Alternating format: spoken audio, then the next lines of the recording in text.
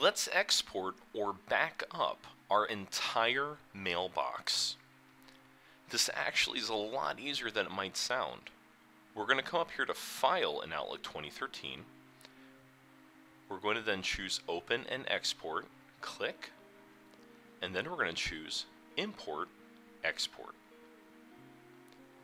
We're going to get this wizard. Now this wizard is the same wizard that you've probably seen since Outlook 2003.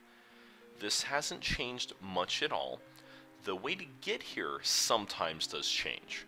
So as long as you can get past the previous navigation in Outlook 2010, 2007, and so on, once you get here, everything is fine.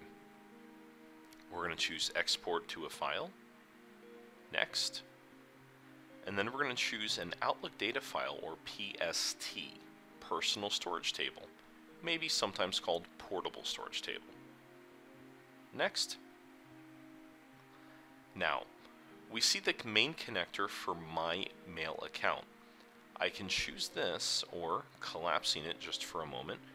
We see that I also have my online archive and I have another person's mailbox that I have full access to. I can actually choose to back up hers. I additionally can back up my public folders.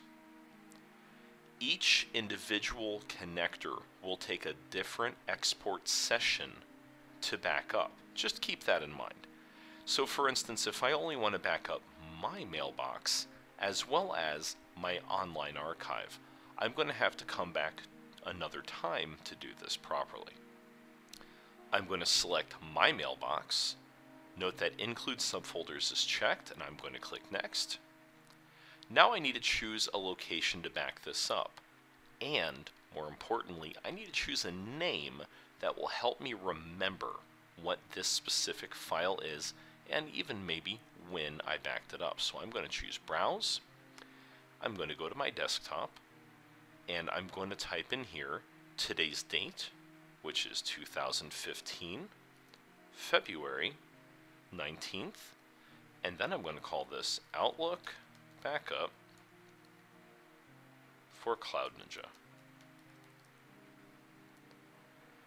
I'm going to click OK. Now all I've done is I've just told it where I want to store it and what I want that file name to be. I'm going to replace duplicates with items exported and I'm going to choose Finish.